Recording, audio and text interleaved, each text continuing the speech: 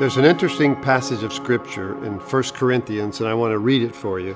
It says, Blessed be the God and Father of our Lord Jesus Christ, the Father of all mercies and the God of all comfort. And then it says this, who comforts us in all our tribulations, so that we may be able to comfort those who are in any trouble with the comfort with which we ourselves are comforted by God. You say, What? Here's what he's saying. When we go through difficult times and God comforts us, when we lose someone who dies, or we go lose a job, or we go through a difficult time in life with finances, or friends, or relationships, whatever it is, and God comes and comforts us, then we're able, when someone else goes through a very similar situation, comfort them in the way that God comforted us.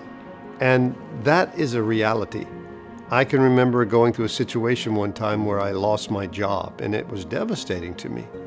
And I traveled uh, to San Diego and I met a friend and I began to tell him my story and all that I went through. And uh, he, he prayed for me and, and he said things to me.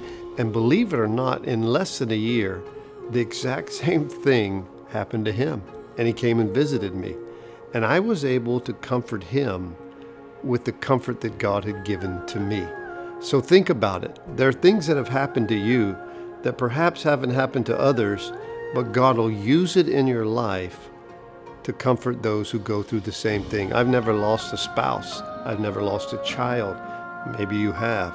And you have a special ministry that God has given you by the way that He's comforted you.